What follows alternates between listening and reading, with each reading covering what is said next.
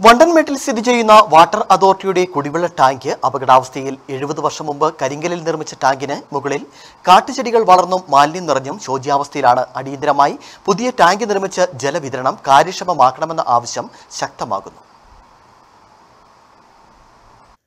എഴുപത് വർഷത്തോളം പഴക്കമുള്ള കുടിവെള്ള പദ്ധതിയുടെ ടാങ്കാണ് ഏത് സമയവും നിലംപൊത്താവുന്ന അവസ്ഥയിലെത്തി നിൽക്കുന്നത്. അൻപതോളം കുടുംബങ്ങളിലേക്ക് ഹൗസ് കണക്ഷൻ മുഖേന കുടിവെള്ളം എത്തിക്കുന്ന പദ്ധതിയാണ് ഇത്. വാട്ടർ അതോറിറ്റിയിൽ പരാതി നൽകുകയും ടാങ്ക് പുനർനിർമ്മിക്കണമെന്ന് വണ്ടൻമേട് ഗ്രാമപഞ്ചായത്തിന്റെ ശുപാർശ അധികൃതരെ അറിയിക്കുകയും ചെയ്തെങ്കിലും യാതൊരു നടപടിയും ഇതുവരെ ഉണ്ടായിട്ടില്ല. കുടിവെള്ള ടാങ്കിന്റെ നിർമ്മാണം കഴിഞ്ഞ് ഏഴ് പതിറ്റാണ്ടുകൾ പിന്നിട്ടിട്ടും നാളിതുവരെ ടാങ്ക് ശുചീകരിക്കാൻ പോലും വാട്ടർ അതോറിറ്റി തയ്യാറാവുന്നില്ലെന്നും വണ്ടൻമേട് ഗ്രാമപഞ്ചായത്ത് അംഗം ജി പി രാജൻ ആരോപിച്ചു.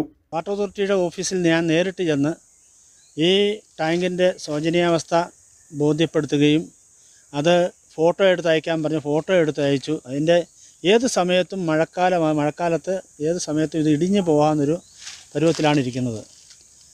മാത്രമല്ല ഇവിടെ പത്ത് ഇരുപത്തഞ്ച് പൊതു ടാപ്പുകളുണ്ടായിരുന്നു. ആ ടാപ്പുകളൊന്നും തന്നെ ഇന്ന് പ്രവർത്തിക്കുന്നതിലെല്ലാം എടുത്തു കളഞ്ഞു. ഇതിനകത്ത് മലിന ജലം കെട്ടിക്കിടക്കുകയാണ് കാലങ്ങളായി ഈ ടാങ്ക് പണിതിന് ശേഷം എഴുപത് വർഷമായി ഇന്ന് വരെ അത് ശുദ്ധീകരിച്ചിട്ടില്ല എന്നുള്ളതാണ് സത്യം.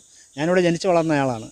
എനിക്ക് വളരെ വ്യക്തമായിട്ടറിയാം ഞാനിത് പലവട്ടം ഇതിനെക്കുറിച്ച് വാട്ടർ അതോറിറ്റിയുടെ ഓഫീസിലും അതിന്റെ പ്രധാനപ്പെട്ട ഡിപ്പാർട്ട്മെന്റിലെ മുഴുവൻ ആൾക്കാരെയും ഞാൻ അറിയിച്ചിട്ടുള്ളതാണ്.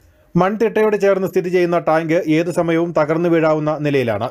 കാലാകാലങ്ങളിൽ നടത്തേണ്ട അറ്റകുറ്റപ്പണികളുടെ അഭാവം തകർച്ചയുടെ ആക്കം കൂട്ടുകയാണ്. ടാങ്കിന്റെ കൽക്കെട്ടിൽ മരങ്ങളും കാടുകളും വളർന്നു നിൽക്കുകയാണ്. ടാങ്കിനുള്ളിൽ വൻതോതിൽ മാലിന്യങ്ങളും ചെളിയും അടിഞ്ഞുകൂടിയിട്ടുണ്ട്. ഇതുകൂടാതെ ആദ്യകാലത്ത് പ്രവർത്തിച്ചിരുന്ന ഇരുപത്തിയഞ്ചോളം പൊതു ടാപ്പുകളും പിന്നീട് നശിപ്പിക്കപ്പെട്ടു.